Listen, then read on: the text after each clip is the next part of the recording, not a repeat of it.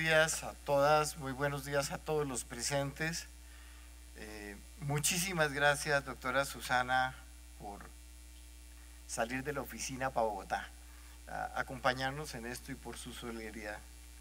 Muchísimas gracias también a la vicealcaldesa de Quito y al alcalde Augusto Barrera, desde luego nuestra gratitud porque no pudo venir, pero eh, mandó la mejor representación posible. Muchísimas gracias por eso. Muchísimas gracias Roberto Lippi por la colaboración que hemos tenido siempre con ONU Habitat y que nos acompaña permanentemente. Y está también en la mesa Liliana Ospina, eh, parte del corazón de lo que venimos haciendo en Bogotá. Em, gracias, doctor Müller. Eh, es importante llamar la atención sobre lo que significa para un alemán cambiar su agenda y venir en menos de un mes que, que hace que lo invitamos. Fui a Dresden a visitarlo y aceptó venir a acompañarnos en este proceso. Así que muchas gracias por estar con nosotros. Lo mismo ocurre con Alice Brooks. Muchísimas gracias por su presencia, por su ayuda. Una de las especialistas que tenemos que leer permanentemente cuando hablamos de transporte y cuando hablamos de movilidad urbana. Nico Calavita, que ha dedicado tanto tiempo a tratar de entender los problemas de la vivienda incluyente y que desde luego también ha sido una de nuestros referentes permanentes y una de las personas más reconocidas en el mundo en la búsqueda de alternativas para la vivienda para todos. Muchísimas, muchísimas gracias a Laura Yanka. Acaban de, hacer tantas cosas. Cuando uno lee la propuesta de plan de ordenamiento, que se llama de otra manera, pero plan de, eh, general de desarrollo urbano de México, eh, parece que nos hubiéramos puesto de acuerdo en la mayoría de los temas. Los temas básicos hoy en México son no crecer más hacia la periferia y empezar a crecer en el centro mediante densificación y proteger el agua como un elemento fundamental para la vida de la ciudad. Creo que en eso estamos absolutamente identificados e inclusive en la propuesta mexicana y en la nuestra el lenguaje pareciera que lo hubiéramos acordado desde hace muchos años. Muchísimas gracias a nuestro profesor de siempre, Pablo Sandroni, nuestro amigo transformador de Sao Paulo en una gran medida y corazón de gran parte de los procesos que llamo en América Latina.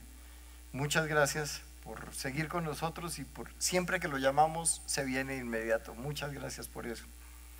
Gracias a las personas que nos acompañan, concejal, muchísimas gracias por estar hoy aquí desde temprano, muy amable. Y gracias a todos ustedes por haber aceptado nuestra invitación para poder avanzar en el día de hoy en este seminario que hemos planeado desde hace aproximadamente un mes como parte fundamental de la discusión que llevaba a abrir un espacio de comunicación y de socialización y de discusión de lo que queríamos hacer con el plan de ordenamiento territorial de Bogotá, con el proceso de la modificación excepcional del plan, que eh, se tuvo que adoptar por decreto y no porque lo quisiéramos, sino porque nos vimos obligados a hacerlo. Siempre abrimos la posibilidad y siempre quisimos que fuera la, opción de poderlo adoptar por acuerdo en el Consejo Distrital, pero desafortunadamente las trancas y las imposibilidades para hacerlo nos obligaron a tomar otra decisión.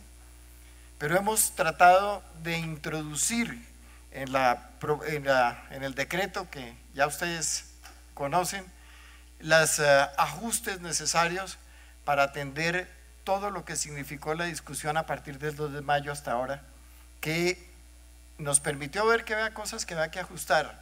En lo humano no cabe la perfección y permanentemente tendremos que estar haciendo ajustes.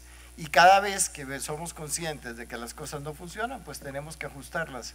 Y ese decreto es un decreto ajustado y es un decreto que hable las posibilidades para construir la ciudad que nosotros eh, creemos que tenemos que construir entre todos y que es fundamental que acordemos empezar a construir de manera conjunta con quienes la están haciendo permanentemente en la calle, con los constructores, con los operadores del transporte, con las personas que tienen que ver con los servicios públicos y con los ciudadanos de a pie que permanentemente todos los días tienen que estar poniendo un granito de arena para construir una ciudad más amable y una ciudad muchísimo más equilibrada.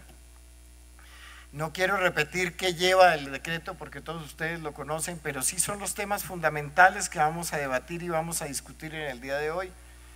En primer lugar, este plan de ordenamiento territorial es un plan de ordenamiento territorial, esta modificación del plan de ordenamiento territorial, el nuevo plan de, ordenamiento territorial vigente, es un plan de ordenamiento territorial que nos permite enfrentar de manera responsable los efectos que va a tener sobre la ciudad el cambio climático y la variabilidad climática, que nos permite avanzar y adelantarnos a las dificultades que vamos a tener en una ciudad que tiene una gran vulnerabilidad para poder eh, asegurar la suficiente disposición de agua eh, para los próximos años, tanto en calidad como en cantidad. Es un plan, además, que nos permite también recuperar, mantener y fortalecer un ambiente y un paisaje inigualables, pero también excesivamente vulnerables y que no podemos sencillamente permitir que sea arrasado eh, por el cemento y por el pavimento, sino que tenemos que cambiar nuestra manera de construir la ciudad, haciendo una ciudad en la que la gente pueda caminar permanentemente de la casa al trabajo y pueda caminar y moverse más lento sin que eso implique que nos demoremos más tiempo. Eso es completamente, eso no es eh, eh, directamente proporcional